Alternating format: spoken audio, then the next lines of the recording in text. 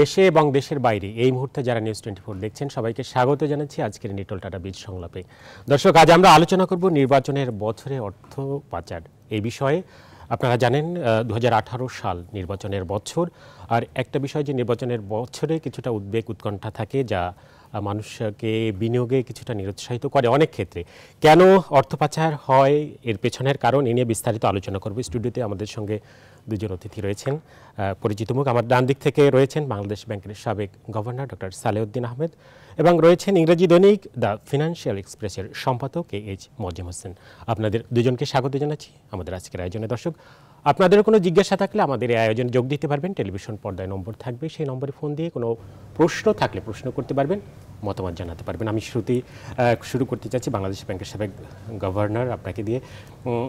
অর্থ পাচার, এটা কম বেশি সবসময় হয়, বলা হয়। কিন্তু বলা হচ্ছে যে নির্বাচনকে কেন্দ্র করে বা নির্বাচনের বছরে সাধারণত এটার মাত্রাটা একটু বেড়ে যায়। কেন? প্রথমত মানে বেড়ে যায় মানে কতটুকু বাড়ে সেটা বলে নির্বাচনে বাড়তে পারে। আর এখন আমরা জানি না যে একেবারে বেড়ে যাবে। মানে পূর্বের ইতিহাস দেখে আবার হঠাৎ কারণ বলব না, এই বছরে বেড়ে যাবে। কারণ এটা অনেকগুলো ফ্যাক্টর উপর ডিপেন্ড প্রথমত, অর্থ পাচারটা হয় আপনার যখন আপনার অর্থ বিভিন্ন অবৈধ উপায়ে বা ভেরি শর্টকাট ওয়েতে আপনি করেন যেটা আপনি কোনো স্টেটমেন্ট দিতে পারবেন বা এখানে বিনিয়োগ করতে চান না পারবেন না অথবা বাইরে পাঠিয়ে দিচ্ছেন। আর দ্বিতীয়ত হলো যখন রেগুলেটরি যখন আপনার নানা রকম রেগুলেটরি যে নিয়ন্ত্রণ আইনের যেখানে ফাঁক ফোকর আছে ব্যাংকিং ব্যবস্থা যদি ফাঁক ফোকর থেকে থাকে তখন অর্থ পাচারটা হয়। আবার যারা রিসিভ করে যারা যেখানে পাঠায় সেখানেও রিসিভ করার লোকও থাকে। অতএব এই ইস্যেতে নির্বাচনের বছরে যেটা হয় সাধারণত নির্বাচন বা যে কোনো একটা যখন রাজনৈতিক একটা উত্তপ্ত হয় পরিবেশ যখন উত্তপ্ত হয় তখন হয় কি রেগুলেটরি বডি বা যারা নিয়ন্ত্রণ করে সংস্থা বা ব্যাংক তারা ওই অন্যদিকে এত বেশি ব্যস্ত থাকে বা এই জিনিসগুলোকে আপনার পর্যবেক্ষণ করা পর্যবেক্ষণ করার পর তদন্ত করা এবং সাথে সাথে আবার যে দ্রুত অ্যাকশন নেওয়া যে এইটা কিন্তু অনেকটা স্লো হয়ে যায়। কখন সরকারের সংস্থাগুলো, বিশেষ করে সরকারি যে আইন প্রয়োগকারী সংস্থা, যেসব সংস্থা অর্থ পাচারের সাথে জড়িত থাকে মানে অর্থ পাচারের বিষয়ে অনুসন্ধান করা প্রসিক তারা অন্যান্য ব্যাপার তখন জড়িত হয়ে যায়। কারণ নির্বাচনের যারা স্টেটমেন্ট দেবে এমপিদের ওয়েলথ স্টেটমেন্ট আছে, তাদের সম্পত্তি আছে, ওগুলি নিয়ে তখন দুদক ব্যস্ত থাকবে অ্যান্টি কারাপশন ব্যস্ত থাকবে, তাই না? তখন অর্থ পাচারের ব্যাপারটা হয়তো প্রাসঙ্গিকভাবে আসবে, কিন্তু ঠিক অর্থ পাচারটাকে ফোকাস করে যে কিছু অ্যাকশন নেবে, সেটা অনেক সময় একটু ঢিলে ঢালা হয়, কিন্তু সেগুলো আসে প্রত্যক্ষ পরোক্ষভাবে। তো এই জন্য হয়তো একটু বেড়ে যাওয়ার সময় আর সরকারও তখন সেই সময় একটা রাজনৈতিক কিসে নিয়ে থাকে তাই না? রাজনৈতিক বড় কোনো অ্যাকশনে বা এরকম তখন সরকার চাচ্ছে যে এই যে আমরা ইলেকশন হলো কেবল জিতে আসব সেটাই মেন তখন যেসব ফোকাসটা হয়ে যায় ইলেকশন পাস ফিল্ড লেভেলে কী কাজ করবে কর্মীদের কীভাবে কাজে লাগাবে এইগুলো নিয়ে। তখন হয়তো এই যে সামগ্রিক অর্থনৈতিক ইসে দিকটা অনেক সময় আপনার একটু পেছনে যারা পাচার করেন তারাও এই সুযোগটাই নিয়ে এই সুযোগটা নিয়ে নেয় তারা বেশিরভাগ সময়। জি মঞ্জু ভাই আপনার কাছে আমি একটু আসছি। আমি অর্থ পাচার নিয়ে আলোচনা করব। আপনার একটু দৃষ্টি আকর্ষণ করি যদি যে গতকালের একটা ঘটনা ঘটেছে যে শাহজালাল বিশ্ববিদ্যালয়ে ডক্টর জাফর ইকবালের উপরে হামলা ঘটেছে নির্বাচনের বছরে এটা এই যে ঘটনাটা ঘটেছে এটা একটু অর্থনীতিতে কোনো প্রভাব ফেলবে কি কিনা? যেটা বড় মানে সারা দেশেই দেখলাম একটু উত্তাল বিভিন্ন শিক্ষা প্রতিষ্ঠান আন্দোলন শুরু হয়ে গেছে। যে এটা নিঃসন্দেহে এই ধরনের ঘটনা তো অনপ্রবৃত্ত এটা এই ঘটনা তো কেউ ইয়ে করবে না। রাজনৈতিক প্রভাব ন্যাচারালি স্বাভাবিকভাবে কিছু পড়বে অস্বীকার করা যায় না। ওভার ট্যাক্সেন পড়বে ওনার আমি যতটুকু জানি ডাক্তার বলেছেন সিলেট উনি আউট অফ ডেঞ্জার এখন নাকি এখন ঢাকাতে এবং গভর্নমেন্ট তরফ থেকে আপনার হেলিকপ্টার পাঠিয়ে উনি আনানো হয়েছে। আমার মনে হয় একটু প্রভাব তো ইনডাইরেক্টলি পড়বে কিন্তু যদি উনি সুস্থ হয়ে আসতে পারেন তখন প্রভাবটা অন্যতম ইয়ে হবে। জি আমরা অর্থ পাচার বিষয়ে আসছি অর্থ পাচার আমি আপনার একটা কথা আমরা বলি নির্বাচনকালীন সময় যে শুধু অর্থ পাচার হয় আমি এটা ব্যক্তিগতভাবে বিশ্বাস করি না। অর্থ পাচার একটা মানে সব সময় হয় অর্থ পাচার একটা প্রক্রিয়া আপনি একটা জিনিস বলতে পারেন সেই নির্বাচন বছরে বেশি হয় কেন এখন আমার মনে হয় গভর্নর সাহেব সাবেক গভর্নর সাহেব ডাক্তার সালাউদ্দিন ঠিকই বলেছেন এটা কোয়ান্টিফাই করা তো সম্ভবপর না। মূলত তিনটে কারণে আমার কাছে মনে হয় বিশ্লেষণে হয়। একটা হচ্ছে যদি দেশের যদি দুর্নীতি বাড়ে যা দুর্নীতি হয় দুর্নীতিও একটা চলমান প্রক্রিয়া। It is not a ism specific issue then এখন বিনিয়োগের যে অনুকূল পরিবেশ যদি না থাকে সেটা একটা জিনিস। আরেকটা হচ্ছে যে যে ধরেন বিশ্বাসটা দেশের অর্থনৈতিক বা রাজনৈতিক স্টেবিলিটির উপরে আমরা যা মানুষের যদি কিছু অনাস্থা থাকে বা ইয়ে না থাকে এই সমস্ত কারণে হয়। এটা শুধু বাংলাদেশে হচ্ছে না পৃথিবীর বিভিন্ন দেশ থেকেই হয়। আমি আমি যতটুকু জানি গ্লোবাল ফাইন্যান্সিয়াল ইন্টিগ্রিটি যেটা ওয়াশিংটন একটা রিসার্চ প্রতিষ্ঠান সেখানে প্রতি 100 বছর যে হ্যাঁ। বছরে করে একশো নব্বইটা দেশের মধ্যে লাস্ট রিপোর্টে বাংলাদেশের অবস্থান ছিল ছাব্বিশ। এবং ছাব্বিশ অবস্থানটা কোনো মতে কাঙ্ক্ষিত না নিশ্চয়ই আপনারা ইয়ে করবেন। এবং যে পরিমাণ অর্থ প্রচারের কথা আমি হিস্ট ব্যাকগ্রাউন্ডটা আনার জন্য কথা বলছি। আমি সেখানে দেখেছিলাম গত দশ বছরে দুই হাজার পাঁচ সাল থেকে দুই হাজার চোদ্দ সাল পর্যন্ত লেটেস্ট রিপোর্ট কাভার করছে এই বছরটা বোধ হয় ওয়েটিং আমি যতদূর দেখেছিলাম চার লাখ সাত হাজার না সত্তর- হাজার ইয়ে, কোটি টাকা আমরা পাচার হয়েছে বলে তাদের এস্টিমেট জি। এমন এস্টিমেটটা প্রপার কতটা? নেই প্রপার বা পারসেপশন ইন্ডেক্স এখানে আছে কিনা? এগুলি বোধহয় আমার চেয়ে বেশি সালাউদ্দিন সাহেব বলতে পারবেন। কিন্তু এইগুলি দেখলে আমার মনে হচ্ছে দেশের আপনার বাংলাদেশ থেকে বেশ বিপুল পরিমাণ টাকা বিদেশে গিয়েছে।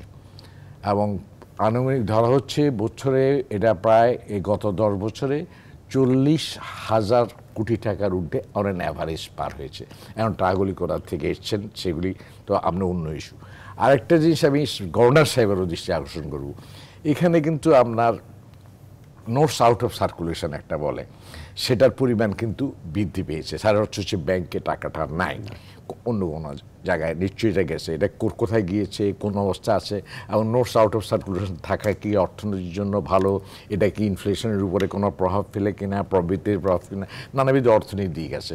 এগুলি বোধহয় বিষয় তা একটা কথা গভর্নর সালাউদ্দিন রাইটটি বলেছেন, গভর্নমেন্টের কিন্তু আপনার লাস্ট ইয়ার ইলেকশন ইয়ার একটা জিনিস হয় অ্যাকশন নেওয়ার ক্ষমতা যে কোনো government it's not specific to this government যে লাস্ট দিকে কোনো রিফর্মও করতে পারবেন না লাস্ট দিকে কোনো হার্ড এই- এই প্রেক্ষাপটটা কি বাংলাদেশই বেশি? না এটা বোধহয় পৃথিবীর সর্বত্রই একটা কারণ আমি একটা নিউজ আজকে দেখেছি আমাদের এখানে ইনকাম ট্যাক্স ল যেটা অ্যামেন্ড করার কথা ছিল সেটা আগামী বছর থেকে এফেক্ট এফেক্টিভ হওয়ার কথা ছিল।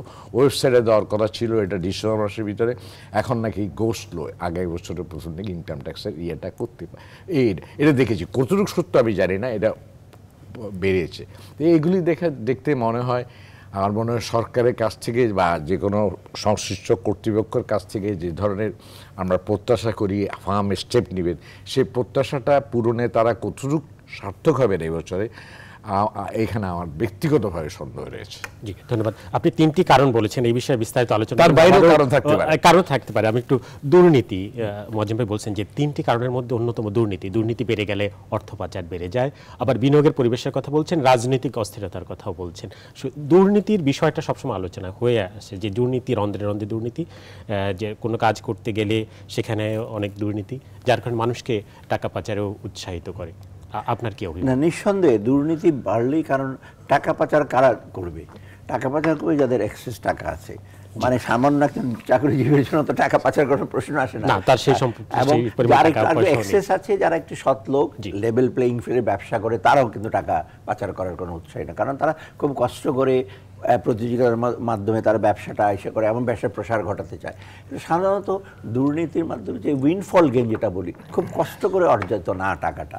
ব্যবসা বলেন বা অন্য রকম কাজ বলেন পাবলিক ওয়ার্কসে বলেন কন্ট্রাক্ট বলেন, বহু রকম। এখন দুর্নীতি তো, এখন আর অফিসে হয় না, দপ্তরে দুর্নীতির চেয়ে বাইরে বেশি দুর্নীতিটা হয় টাকা। অত এই টাকাগুলো নিয়ে তো দেশে এটা বিনিয়োগ করলে তো মনোযোগ আকর্ষণ করবে অনেকেরই, যে হঠাৎ করে এতগুলো টাকা উনি কি করে? কারণ অনেক বেশিরভাগ হয় আইদার আইপিও ইস্যু করে শেয়ার মার্কেট থেকে আনবেন অথবা ব্যাংক থেকে আনবেন, হঠাৎ করে ব্যাংক থেকে আনেন নাই, উনি হঠাৎ করে এতগুলো টাকা।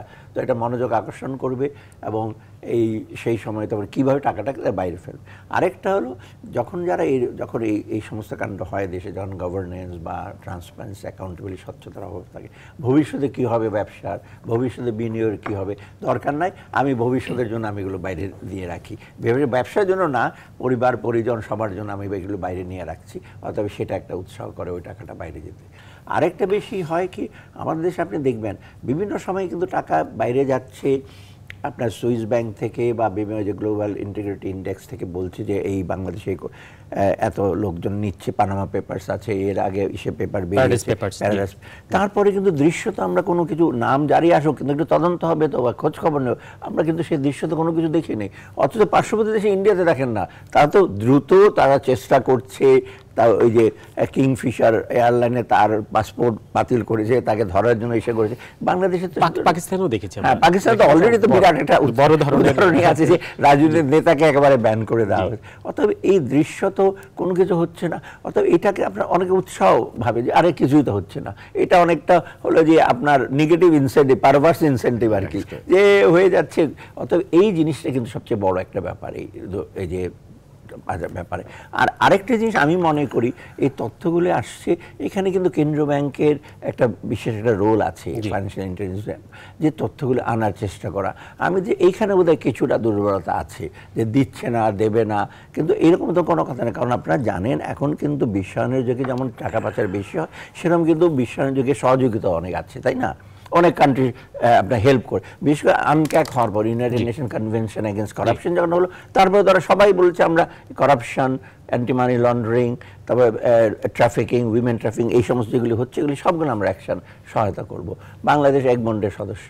বাংলাদেশ বিভিন্ন সাথে বিভিন্ন দেশের সাথে আপনার এগ্রিমেন্ট আছে। অর্থাৎ এই যে অ্যাকশনগুলো যদি না হয় তবে কিন্তু এই এটা দিন দিন আর বাড়তো না। আর যেহেতু চটটা আপনি বাইরে পাঠাতে পারেন। সেটা আবার মুদ্রায় উল্টা পিঠ, আবার সেটাকে দুর্নীতিকে উৎসাহ করে। কারণ দুর্নীতি করে টাকাটা আমি পাঠাতে পারলেই তা আমার তো অসুবিধা কিন্তু পাঠাতে না পারেন, এই যে যেটা মঞ্চম ভাই বললেন যে আউট অফ সার্ভিস টাকা, কতটুকু রাখবেন ব্যবসা ব্যবসা? মানে আউট অফ সার্ভিস এখন রিসেন্টলি হয়েছে, এটা অন্য কারণ, সেটা অন্য প্রসঙ্গের সাথে আমি আসব। কিন্তু যখনই আপনি দেখেন যে টাকাটা পাচার করতে পারছেন, এবং সেফ হ্যাভেন আছে আপনার বাড়ি ঘর সেই কিনতে জি, সেই সুযোগটা তখনই কিন্তু এই যে দুর্নীতি করারও ইসে থাকে। মানে এটা একটার সাথে একটা যোগসূত্র। টাকা যদি আর্ন করে যদি আপনি যদি বাইরে না পাঠাতে মানে ভোগ না করতে পারেন মানে ভোগ তো যতটুকু তারা করে তার বাকিটুকু তো পারে পাঠিয়ে দেয়। অতএব আমার মনে হয় পাঠানোটা বন্ধ করতে হবে। সাথে সাথে দুর্নীতি যে এই যে যেটা মেইন যেটা আমরা বলি যে সোর্স অফ বিষয় এটাকে আপনার বন্ধ করবে মূল এই যে পাঠানোটা বন্ধ কীভাবে? আপনি কেন্দ্রীয় ব্যাংকের কথা বলছিলেন। কীভাবে বন্ধ করা যায়? পাঠানোটা যে কোন কোন ওয়েগুলো রয়েছে আমাদের পাঠানো তো আপনার বিভিন্ন উপায় হয়। একটা তো হয় যে হুন্ডির মাধ্যমে হয়ে থাকে বিভিন্ন রকম মেসেজ দেয় টেলিফোন হিসেবে মেসেজ দেয়। জি। এইগুলো একটা শক্ত হিসেবে ইভেন এখন যে মোবাইল ব্যাংকিংয়ের ব্যাপারে আরও বেশি কড়াকড়ি করা আরও মনিটর করা তো এটা এক নাম্বার। দ্বিতীয়ত হলো আপনার যে ব্যাংকিং সেক্টরে যেটা যদি যায় কিনা তবে ডিফিকাল্ট ব্যাংকিং সেক্টর এখন যাওয়ার কারণ এখন সিটিআর এসটিআর হয়েছে সাস্টেবল সাস্টেন সাসপেশন ট্রানজ্যাকশন ইসে রিপোর্ট দিতে হয়। তবু ওই দিকটা লক্ষ্য। আরেকটা কিন্তু উপায় সবচেয়ে বেশি প্রকৃষ্ট উপায় হলো বাণিজ্য। হ্যাঁ আমদানি রপ্তানির মাধ্যমে এই মিসপ্রাইসিংটা একদম- mispricing is one of the major আপনার এটা কিন্তু মিসপ্রাইসিং শুধু আপনার ইম্পোর্টের ক্ষেত্রে হয় তা না না, না, এক্সপোর্টের ক্ষেত্রে হচ্ছে। আমি দুটার পর্যন্ত জানি গার্মেন্টস এর রিসিভ যা দেখানো হয় ওভারসিজ বায়ারের মাধ্যমে এটা কিন্তু আপনার গার্মেন্টস আন্ডার স্টেটেড থাকে অ্যাকচুয়ালি মিসপ্রাইসিংটার জন্য আমার ধারণা এখানে কেন্দ্রীয় ব্যাংকের এবং জাতীয় রাজস্ব এবং সরকার বলছিলেন আগে এর আগে তাদের অ্যাকচুয়ালি এই যে ইম্পোর্ট যে প্রাইসে কিনে হচ্ছে দুইটার মধ্যে একটা কম্পিউটার সিস্টেম কোহারেন্স করার জন্য। আমরা এই প্রক্রিয়াটা কিন্তু এগুতে দেখি নাই। এই প্রক্রিয়া যদি এগোতো mispricing doctor Salahuddin has rightly point out is one of the major contribution অনেক সময় রপ্তানি টাকাটা প্রত্যাবর্ষণও করা হয় না অনেক সময়। সেটা চেকও করা এক হলমার্ক গ্রুপের ক্ষেত্রে দেখেন একদিনে ট্রান্সফার হচ্ছে দেড় হাজার কোটি টাকা। বিসমিল্লা গ্রুপের কাছে একদিন না ওভার দ্য ইয়ার্স দেড় হাজার কোটি টাকা। এগুলি কিন্তু আপনার আপনি এই সমস্ত ইনসিডেন্টগুলি যদি আপনি শক্ত হাতে যদি দমন করতে পারতেন এগুলির যে অথরিটি আমি সবসময় আমার প্রত্যাশা এবং এটা প্রত্যাশা এখনও করতে থাকব তারা তদারকি আর আমরা টেক্স- একটা ইস্যু ডাক্তার সারোজিন রাইট দিয়েছেন। Technology is possibly one of the answer to combat it actually আপনি যে প্রক্রিয়া যাচ্ছেন আপনি এই যদি কম্পিটিবিলিটি থাকতো আপনার অ্যাকচুয়ালি এই এনবিআর এর সাথে ইয়ের সাথে। বাংলাদেশ ব্যাংক। দেখেন আমি এটা ডাইগ্রেশন বলব। দেখেন আমি আরেকটা জিনিস অনেকে বলে সঞ্চয়পত্র যেগুলি কিনে না এই সঞ্চয়পত্রে কিন্তু ইন্ডিভিজুয়াল লিমিট হচ্ছে এক কোটি পাঁচ লাখ টাকা। আমি জানি অনেক কর্মচারী বেনামি সনামি মেস সার্ভেন্টের নামে তিন থেকে চার কোটি টাকা। তো এগুলি আমরা ওইখানে সারপ্রাইজিংলি ওইখানে কিন্তু আপনার ব্যাংক অ্যাকাউন্ট খুলতে যাবেন টিএন নাম্বার লেখার আগে। ও সঞ্চয়পত্র খোলার সময় টিএন নাম্বার নাম রাখেন না। এগুলি these are not welcome thing this gives a very এখন এগুলি এটা ওয়েলফেয়ার এক্সপেক্টে দেখেন আমাদের দেশে সোশ্যাল সিকিউরিটি নেই। আমি ব্যক্তিগতভাবে অন্য অর্থনীতিবিদের রাখ আমি মনে করি সঞ্চয়পত্র acts as a social social safety net most so in a country যেখানে জাইরেট্রিক ফ্যাক্টর এখন আমাদের ইউনিট মোর জাইরেট্রিশিয়ান দেন পেডিট্রিশিয়ান অর্থ তো আমাদের এগুলির দিকে যদি আমরা একটু আমাদের ব্যবস্থাপনা থেকে আরেক সবল করতে পারতাম। এটা ইচ্ছাকৃতভাবে বা অনিচ্ছাকৃত সক্রিয় করা হচ্ছে না, সেটা অন্য ইস্যু কিন্তু সক্রিয়কর না করলে এগুলি আপনার আপনি বলছিলেন যে আমরা শক্ত হাতে ব্যবস্থা নিতে পারি না, দমন করতে পারি না। এটার একটু যদি পিছনে কেন পারি না? আসলে? দিস ইজ নট এ মানে দিস আগেইন আমি আবার রিপিট করি এটা রিজাইম স্পেসিফিক ইস্যু না। এটা ওভার দ্য ইয়ার্স রয়েছে অ্যাকচুয়ালি আমরা শক্ত হাতে করতে পারি না আমরা ওভারঅল গভর্নেন্সটাকে যদি ইমপ্রুভ না করেন তাহলে আপনার কিন্তু এটা দমন করতে পারবেন না। ইকোনমিক গভর্নেন্স ইমপ্রুভ করতে হলে আপনার ওভারঅল গভর্নেন্সকে ইম্প্রুভ করতে হবে। Economic governance per se cannot address the problem overall গভর্নেন্সটা আমার মনে হয় আমাদের প্রাতিষ্ঠানিক ভিত্তিগুলি ইনস্টিটিউশনসগুলি আরও এফিসিয়েন্টলি রান করা দরকার এবং proper man should be placed at proper play in proper place এই সমস্ত ইস্যুগুলি যদি আমরা ওভারঅল গভর্নেন্স ইস্যুটা যদি অ্যাড্রেস করতে পারতাম আমার মনে হয় আমাদের অনেক সমস্যা আমরা উত্তরণ করতে পারতাম। আরেকটু সহজে। জি ডক্টর সালাউদ্দিন আহমেদ আপনার কাছে আসব। আমাদের সঙ্গে ফোনও একজন ব্যবসায়ী উদ্যোক্তা যোগ দিবেন। Bangladesh Malaysia chamber of commerce ইন্ডাস্ট্রিজের সভাপতি সৈয়দ মোয়াজ্জেম হোসেন। আপনাকে স্বাগত জানাচ্ছি আমাদের আজকের নেটল টাটা বীজ সংলাপে। আপনি হয়তো আলোচনা শুনছিলেন। আপনার কাছেও জানতে চাচ্ছি যে একজন উদ্যোক্তা হিসেবে আপনারা কীভাবে দেখেন? আসলে অর্থ পাচার সবসময় হয়, যেটা আজকের বিজ্ঞ আলোচকরাও বলছিলেন। কিন্তু নির্বাচনের কেন্দ্রিক বছরে একটু সবসময় মানে কিন্তু এটাকে আমরা কন্ডন করছি না। সবসময় হয়। মানে সিস্টেমের সিস্টেমের কারণে, মানে। ত্রুটির কারণে হয়। মানে এটা। না হয় কিন্তু নির্বাচনের বছরে সাধারণত একটু বেড়েই যায় বলা হয় আর কি বেড়ে যায় বিভিন্ন উদ্বেগ উৎকণ্ঠার কারণে বেড়ে যায়। আসলে আপনাদের অভিজ্ঞতা থেকে যদি একটু বলেন যে কেন অর্থ পাচার হয় এবং এর পেছনে কি কারণ? ধন্যবাদ আমাকে অন্তত আপনার এই অন্তত টেলিফোনে সংগীত দেওয়ার জন্য। তবে আমি আপনাদের আলোচনা শুনি নাই। আপনার যে কথা যদি আমি বুঝে থাকি যে নির্বাচন আসা আসার সময় বা নির্বাচনের পাকালে অর্থ পাচার বেশি হয়। প্রথম কথা হলো অর্থ পাচার বেশি অনেকগুলো কারণের মধ্যে এই নির্বাচনের একটা কারণ হচ্ছে আনসার্টেনিটি এটা একটা বিশেষভাবে মানে মানুষের মাথায় থাকে যে নির্বাচন যদি হয় এই দল ক্ষমতা আসবে, ওই দল ক্ষমতা কোন দল ক্ষমতা আসলে কোন দলের অসুবিধা হবে এবং কোন দল ক্ষমতা গেলে কোন দলের সুবিধা হবে? এইসবগুলো বিবেচনা করে অনেকেই পলিটিক্যাল পার্টির লোকেরা সেখানে বেশি কিন্তু অর্থ পাচারের সাথে মানে জড়িত হয়ে পড়ে। এবং এইটা হলো একটা পয়েন্ট এবং ব্যবসায়ীরাও, যে সমস্ত ব্যবসায়ীরা এই যে সরকারি সুবিধা নিয়ে যারা ব্যবসা করে বা দলের সুবিধা নিয়ে যারা ব্যবসা করে, সেই ব্যবসায়ীরা মনে করে যে এই দলের সুবিধা নিয়ে যখন আমি ব্যবসাটা করলাম, অন্য কোনো সরকার আসলে আমার জন্য প্রবলেম হতে পারে। So he is also trying to মানে to take money outside of the country safe সাইডে থাকার জন্য। এবং অনেকে আপনি শুধু খালি টাকা পাচ্ছেন না, অনেকে দেখা গেল যে ওই ভিসা পর্যন্ত করে রাখে আগে ভাগে যে ঠিক আছে, আমি পাঁচ বছরের ভিসা আমেরিকার করে রাখলাম অন্যান্য দেশে করে রাখলাম। এগুলো করে রাখে অনেকে। এই জন্যে কোন রকমের সমস্যা দেখা দেওয়ার সাথে সাথে যেন হি ক্যান মুভ আউট এই সমস্ত বিষয়গুলো বিশেষভাবে কাজ করে নির্বাচনের প্রাক্কালে। আর নির্বাচন প্রাককাল ছাড়াও মানে কিছু কিছু কিছু কিছু টাকা তো এমনিতে পাচার হচ্ছে রেগুলারলি পাচার হচ্ছে। এবং কিছু কিছু টাকা আমাদের এখানে ওই সামটাম আমরা বলি যে we earn money in Bangladesh and we spend money in abroad এবং সেটা হচ্ছে বিভিন্ন সময় বিভিন্ন ইয়ে, মানে ক্ষেত্রে সেটা সরকারও জানে জনগণও জানে সবাই জানে। হ্যাঁ? তা আমাদের এই এই- হলো যে অর্থ পাচারের বিভিন্ন কাহিনী আর অর্থ পাচার তার একটা জিনিস হলো যে অর্থ পাচার করে যদি আমি নিয়ে যেতে পারি তাহলে সেফ সাইডে টাকাটা চলে গেল।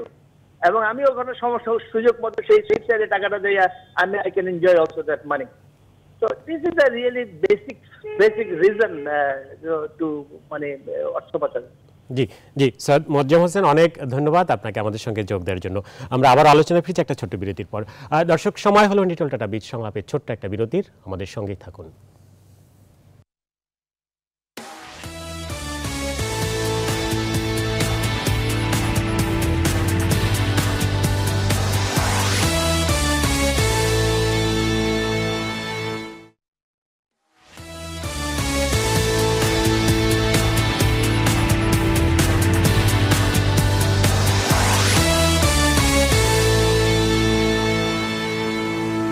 লিটল টাটা সংলাপে আরও একবার স্বাগত দর্শক, আপনারা দেখছেন নিউজ টোয়েন্টি ফোর নির্বাচনের বছরে অর্থ পাচার এ নিয়ে আজ আমরা আলোচনা করছি। দুজন অতিথি আমাদের সঙ্গে রয়েছেন। বাংলাদেশ ব্যাংকের সাবেক গভর্নর ডক্টর সাইলুদ্দিন আহমেদ রয়েছেন।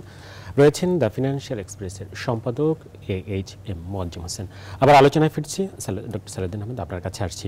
কেন্দ্র ব্যাংকের ভূমিকার কথা আপনি বলছিলেন যে কেন্দ্র ব্যাংকের বড় ভূমিকা একটা থাকে। মোয়াজ্জম ভাই রাজস্ব বোর্ডের কথাও বলেছিলেন যে আমদানি রপ্তানির মাঝেও সেখানে বড় ধরনের অর্থ পাচার হয়ে থাকে ইন ওভারভাইসিং ইনভয়েসিং যে ইসে। কেন্দ্রীয় ব্যাংক কীভাবে এখানে উল্লেখযোগ্য ভূমিকা পালন করতে পারে অর্থ পাচার রোধে? বিশেষ করে কেন্দ্রীয় ব্যাংকের আপনি জানেন একটা তো ফাইন্যান্সিয়াল ইন্টেলিজেন্স ইউনিট আছে একটা। জি। আর একটা অ্যান্টি মানি লন্ডারিং এর ভেতরে ওই আওতায় তারা বিভিন্ন তথ্য তো অলরেডি নিচ্ছে। আর আমি যেটা বলছিলাম বাণিজ্যের ইম্পোর্ট এবং এক্সপোর্টের ব্যাপারে কেন্দ্রীয় ব্যাংকের দায়িত্বটা হলো, এখন কেন্দ্রীয় ব্যাংক এককভাবে করবে না, কিন্তু ডেফিনেটলি যখন এলসি খোলা হয়, আপনি জানেন ব্যাংকাররা কি করে? ব্যাংকরা এলসিটা সেটেল করে on the base of documents ব্যাংকরা কোনো দিন পোর্টে যায় না, আসলো কি না আসলো, এটা যাওয়ার কথাও না, তাই না? এখন বাংলাদেশ ব্যাংকও জাস্ট এলসি সেটেলমেন্ট হচ্ছে, বিশ billion dollar already outstanding LC আছে। তো এখন জিনিসটা আসছে কি না, সেটা এক নাম্বার এটা কিন্তু ইজিলি আপনার কাস্টমস এনবিআর সাথে ইসে করে এরা চেক করতে পারে। এটা আজকাল কন্টেনার আসে, এমন না যে ছাড়া ছাড়াভাবে আসছে।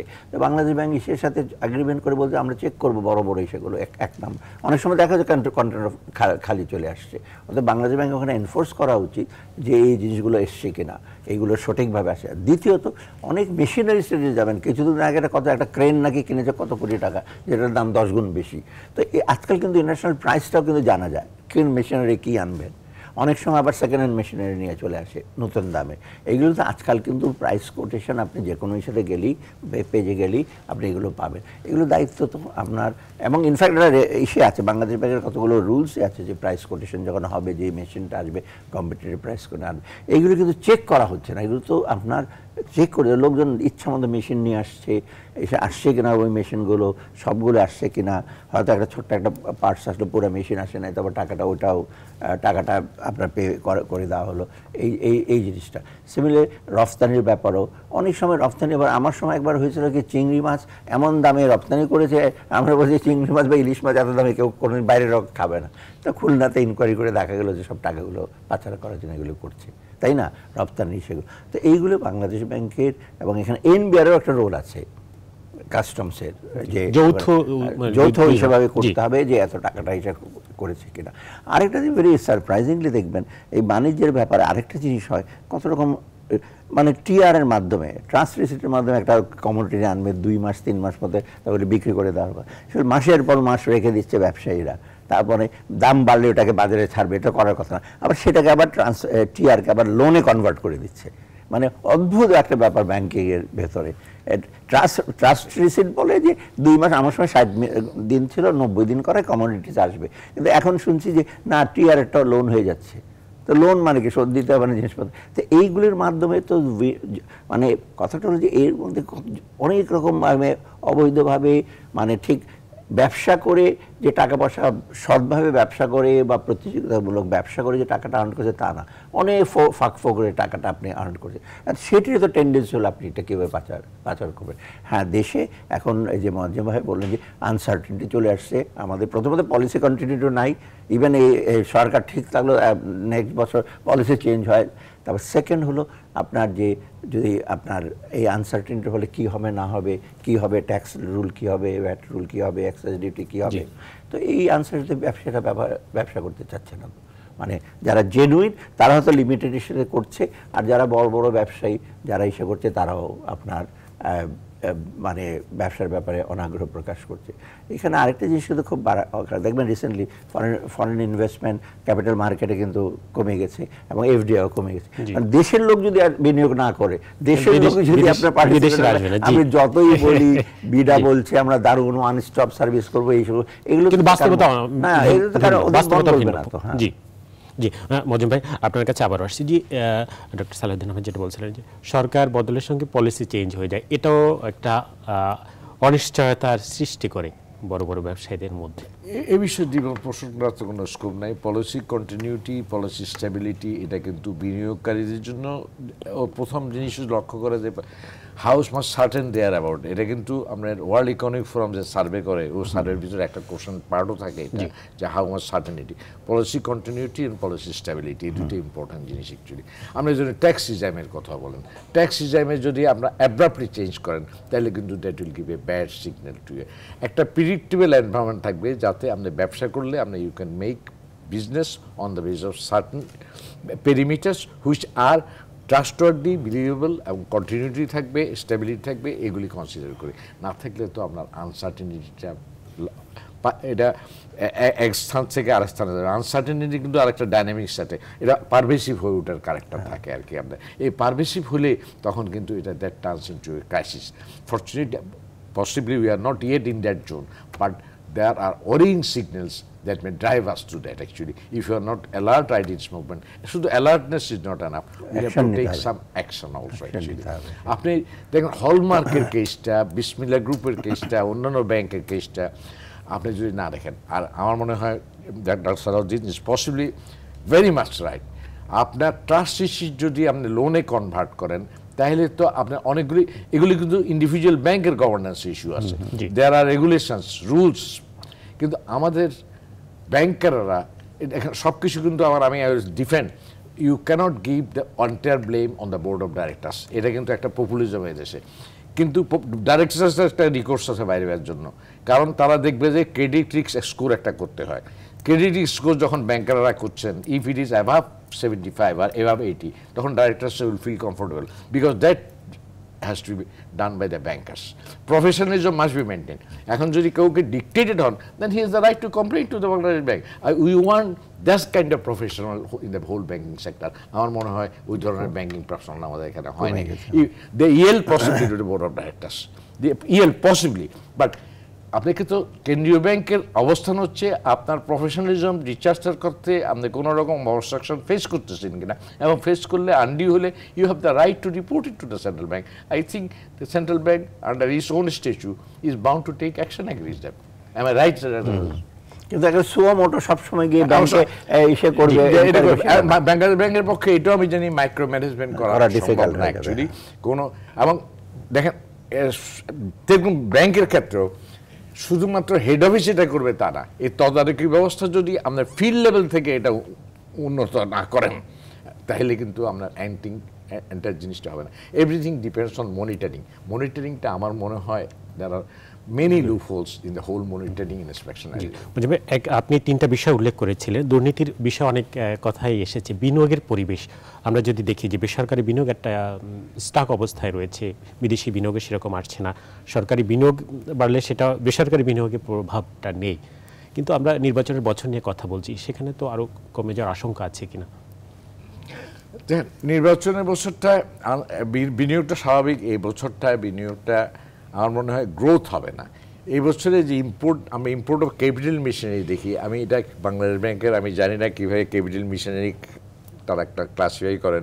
Defence equipment are they treated as capital machinery I do not know actually এবছরের একটা বড় অংশ হচ্ছে বিনিয়োগের ক্ষেত্রে। আমরা পদ্মা বিগ ইনফ্রাস্ট্রাকচার অনেকগুলো বড়।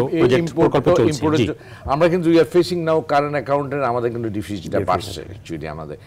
আর আমরা যে বিনি foreign investment I absolutely agree with doctor Salahuddin আপনার লোকাল ইনভেস্টার্সরা যদি বলে নাথিং সাকসেস লাইক সাকসেস ইংরেজিতে কথা আছে। যখন দেখবে লোকাল ইনভেস্টার্সরা ইনভেস্টমেন্ট চাই, তখন ফরেন ইনভেস্টার্সরা ইনভেস্টমেন্ট করবে না। Then again globally you are also in a very uncertain situation আপনার আজকাল ফ্রি ট্রেড অ্যারেঞ্জমেন্ট যে লেভেলে ছিল, সে লেভেলে থাকবে কিনা? লেটেস্ট আমরা চায়নার উপরে ইয়েটা দেখেছেন চায়নার রিয়াকশন দেখছেন। আজকে দেখলাম ডাব্লিউটিও একটা স্টেটমেন্ট দিয়েছে, এই ধরনের হতে থাকলে ওয়ার্ল্ড ট্রেডিং সিস্টেমটাই আপনার এখন ডিস্ট্রিবিউটেড হতে থাকবে। Then an currency movements dollar is dollar strength আপনার ওয়ার্ল্ড স্টক মার্কেট একটা জিটার খাইছে, আবার ব্যাক টু ইয়ে। আমার মনে হয় সার্বিকভাবে বৈশ্বিক পরিস্থিতিও আপনার অ্যাকচুয়ালি একটা আনসার্টিনিটি ফেস করতেছে। বিশেষত I must say under the Trump president Trump owner first আমেরিকার ইয়ের জন্য। তো এই সমস্ত পরিস্থিতিতে আপনার বিনিয়োগটা বিদেশি বিনিয়োগ কতটুকু হবে আমি। সতর্কতা অবলম্বন করবে দেখা যায়। আর আর আমি একটা ইস্যু ইয়েতে বলব। এটা গভর্নর সাবেক গভর্নর সাহেবের দৃষ্টি আকর্ষণ করব। দেখেন আমাদেরকে বলা হয় মানি লন্ডারিং লটা স্ট্রেংথেন করার জন্য। We are at the receiving end of all districts কিন্তু যে সমস্ত কান্ট্রিতে টাকাটা ঢুকতেছে জি। আর দ্য সিরিয়াস অ্যাবাউট তারা তো জানে যে বাংলাদেশের এখানে ক্যাপিটাল কন্ট্রোল আছে। টাকাটা যখন ঢুকতেছে আর দ্য সিরিয়াস অ্যাবাউট আমাদের ওরাও রিসিভ করে। বিকজ দে অপরচুনিটি পাই কারণ তাদেরকে অপরচুনিটি দেওয়া হয় অন্যরা ওয়েলকাম করতেছে ফরেন কারেন্সিটা কিন্তু আমাকে বলতেছে তুমি মানি লন্ডারিং করো। তো আমি কেমনে করব উইদাউট ইউর কপারেশন এ- বিষয়ে আমরা জানব একটু ছোট্ট বিরতির পরে সে দর্শক সময় হলো টাটা বীজ সংলাপে আরও একটা ছোট্ট বিরতির। আমাদের সঙ্গেই থাকুন।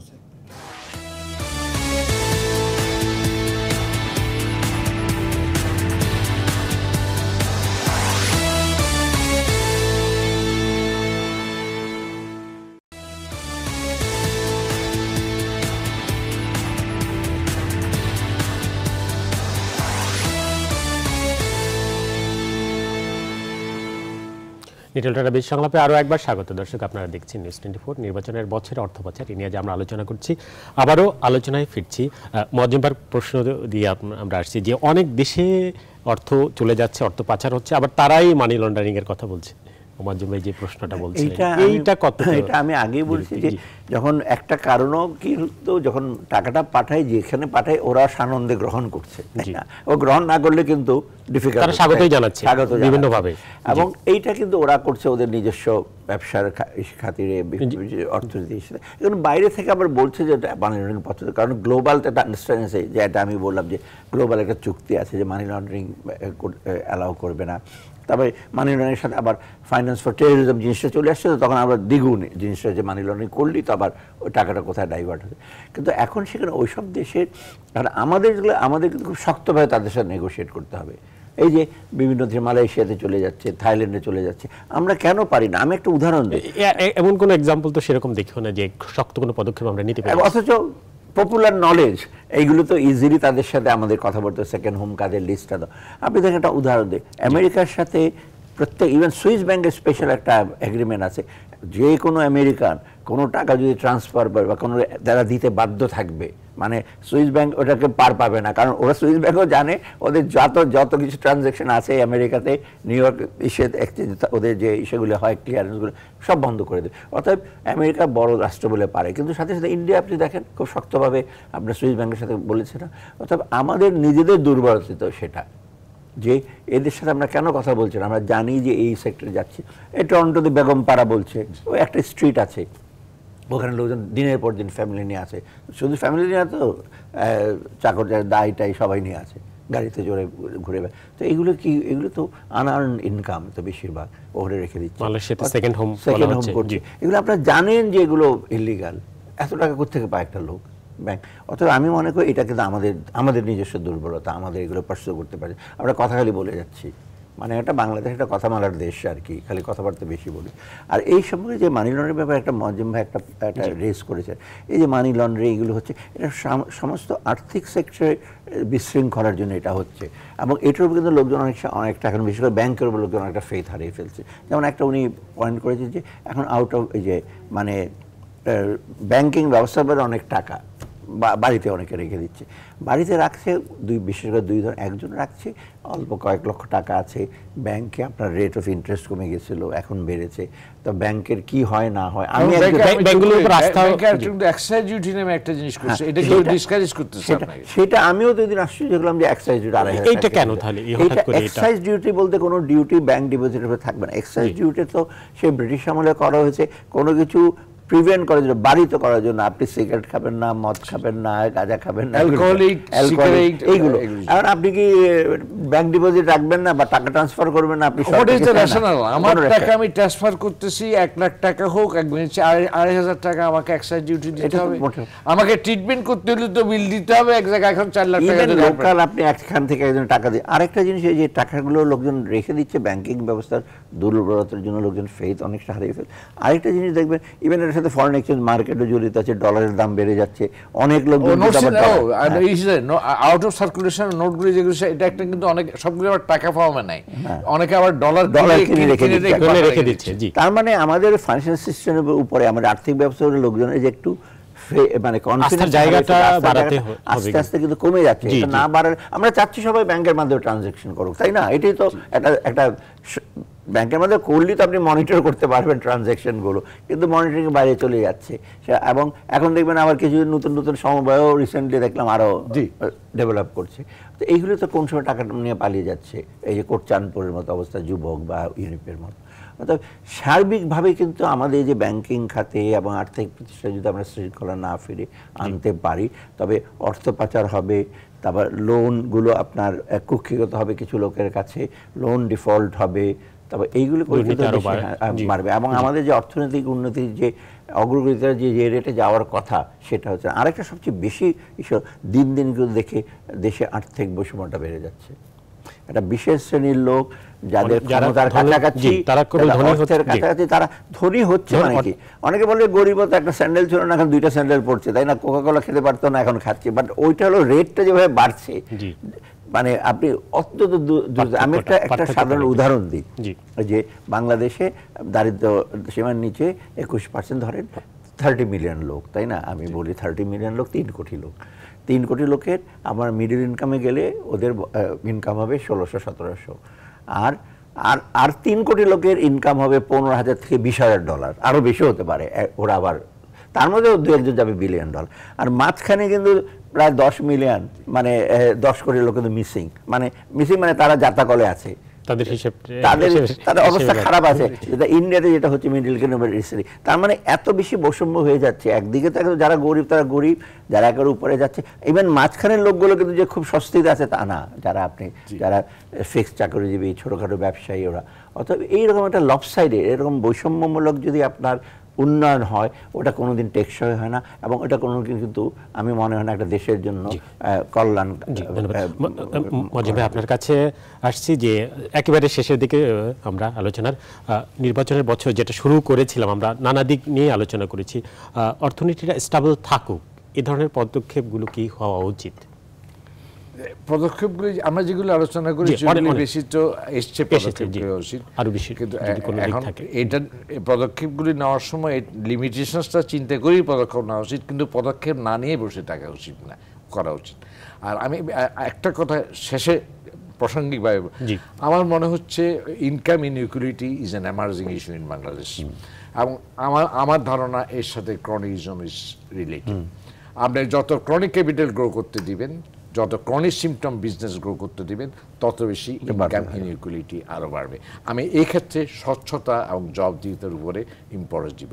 আর পলিসিগুলি দেখেন এগুলিতে কোনো কুইক ফিক্সেস নাই। এবং একটা কথা শুধু বলব এটা কিন্তু আইসোলেটেড উইথ অ্যাকশন নিতে হবে না। There must be a synergy of actions to the possible extent to counter this অর্থনীতি চ্যালেঞ্জের ভিতরে আছে এবং চ্যালেঞ্জগুলি যাতে আরও অ্যাগ্রিভেট করে রিক্সে না হয় সেদিকে আমাদের নজর দেওয়া উচিত বলে আমি বিশ্বাস করি। একেবারে শেষ করব আপনাকে এক মিনিটের যদি কোন কোন বিষয়গুলো শেষ আমি মনে করি যে অর্থনীতি অর্থনীতিটা হলো কিন্তু আসলে পলিটিক্স থেকে আলাদা না। সমস্ত কিছুর এসে আধার হলো আপনার গভর্নেন্স। অতএব সার্বিকভাবে দেশের গণতন্ত্র গভর্নেন্স জবাবদিহিতা স্বচ্ছতা জবাবদিহি যদি না করে তবে কিন্তু আজকে আপনি দেখছেন অর্থনীতি আরেক আরেক আর কদিন পর ট্রান্সপোর্ট সাইডে হবে এনার্জি সেক্টরে হবে বহু জায়গায় আপনি একটা বেলুনের মতো একদিকে চাপা দিলেন আরেকদিকে হঠাৎ করে বেড়ে যাবে এইরকম অতএব স্বচ্ছতা জবাবদিহিতা বাড়াবেন গভর্নেন্স বাড়াবেন তারপরে এই যে তথ্যের যে এই সেটা ফ্লোটা ফ্লো একেবারে আমি অনেক সময় দেখি ইভেন বাংলাদেশ বলে করছি করব দেখা যাচ্ছে আমরা আশা করছি এই ধরনের বক্তব্য দেওয়া তো মানে না স্পেসিফিক কিছু বলেন কি যদি হয়ে থাকে। অতএব তথ্য অব- অবাধভাবে দেওয়া। আমি বলছি না একবার সব গোপন তথ্য সব বলে দিবেন যেগুলো মানুষের জানা দরকার। তখন হয় কি তখন এই যে অনেকে বলে sunshine is the best antiseptic সূর্যের আলোতে নিয়ে আসেন জিনিসপত্র আপনার রোগ বালাই সব দূর হয়ে যাবে। সব লুকিয়ে রাখলে কিন্তু হবে। অর্থাৎ স্বচ্ছতা জবাব পলিটিক্সটা করেন অর্থ অর্থনীতির সেক্টরটা এরকম স্বচ্ছতা জবাব চলে। ডক্টর সালাউদ্দিন আহমেদ এবং এইচ মজিম হোসেন আপনাদের দুজনকে অসংখ্য ধন্যবাদ। দর্শক আপনারাও যারা আমাদের এই আয়োজনের সঙ্গে ছিলেন আপনাদেরকে অসংখ্য ধন্যবাদ। সপ্তাহের শনি থেকে বৃহস্পতি ছয় দিন আমরা ব্যবসা বাণিজ্যের নানা দিক আলোচনা করি আয়োজনে। আশা করি নিউজ টোয়েন্টি ফোরের সাথে থাকবেন। সেই প্রত্যাশা জানিয়ে শেষ করছে আজকের নিটলটা টাটা বিশ সংলাপ